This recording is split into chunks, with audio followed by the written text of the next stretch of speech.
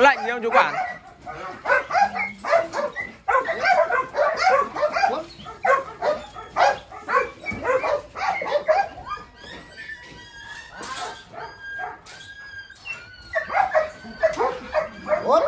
Con này mùa hè đẹp lắm luôn.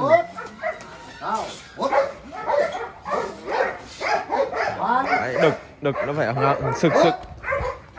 Đây là con ngày xưa con chọc mọi người. Cạo lông đi này à. Đấy, giờ miếng đỏ này đây, lông đúc này. Phải hết cái đợt này. Út.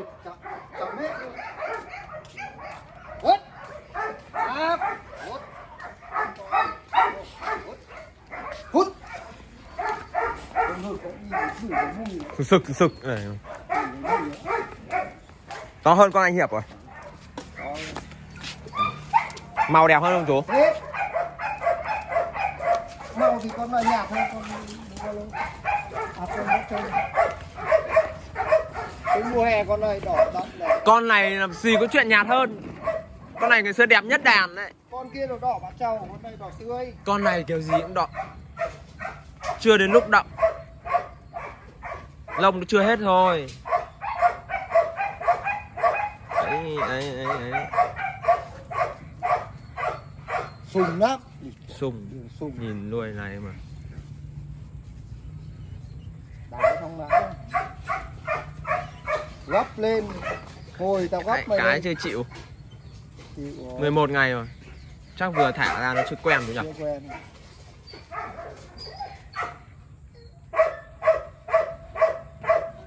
Nam này mà ra gầm thì chấm hết luôn yếm trắng Bình tĩnh. Mẹ, con này thầy gái mồng sau một mét. Được cái con này nó, nó máu kinh khủng thật Ừ. Chưa xịt phát nào đấy. Chưa biết xịt là gì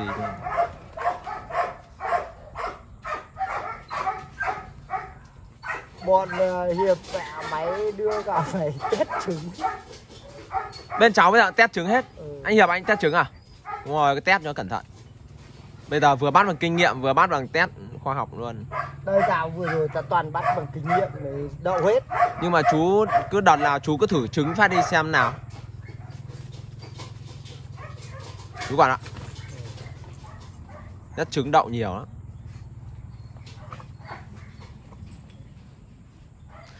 Chú bảo này Hè thì mình không nói hay chứ cái mùa này đúng không? Ừ. Sợ mỗi là kiểu cái người ta nuôi người ta cứ để nó nhồng Nhưng còn mùa này mà được ăn tốt thứ phối là được Không chạy đâu được cái dòng Mali. Chửa thì là chửa hết nhưng mà thì trẻ sợ nhất là ông để Cứ nhồng nhồng nhồng nhồng nhồng xong chửa rồi là xịt. Đúng rồi Cái Như thế thả nó ra từ đầu nó quen Không. Tí là được. Cà kia săn kia mà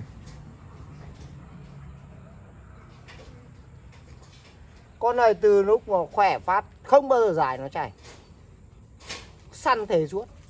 Mà con này dáng nó đẹp Thấy chưa? Dáng này đẹp nó vận động kinh khủng địt mạ body đấy, Đấy, toàn cơ bắp. không? Đấy. Hiểu không?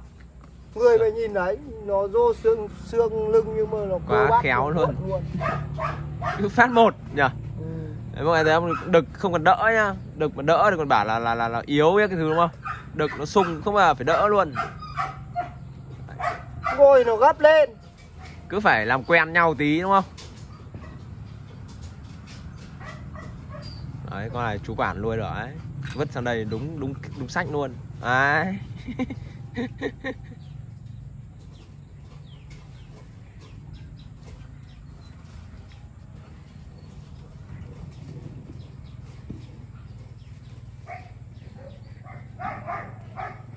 Phối Mẹ là này trước kia ở bên trại mẹ giải nó tận khoeo nhưng bây giờ lúc nào săn đấy. Cái đợt đấy là thằng cu kia nó lùi nó nó, nó phá quá Nấm niếc hết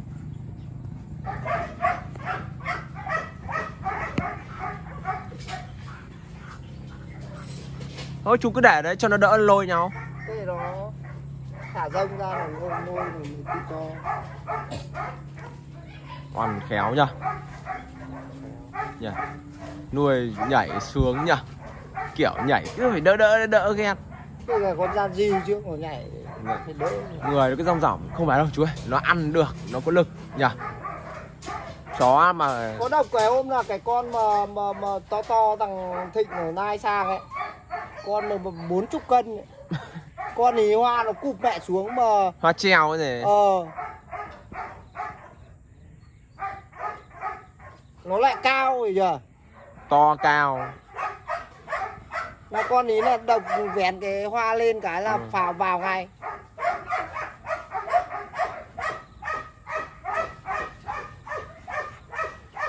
Bắt đầu. Con này cứ phải à, bắt đầu ra hết lông nhở để, để cháu cạo đi bây giờ nó không chưa tin ra. không? Không tin không? Từ giờ đến tháng hai con này bóng lử. Bấm lử. Bây giờ lông nó đang kiểu phân phấn đấy nhở mày mua tủ đông đi xong khoảng mỗi một tuần sang đây tao lấy cho một tải trứng nội. Cả ấy. Không? Thi thoảng có ít lợn con của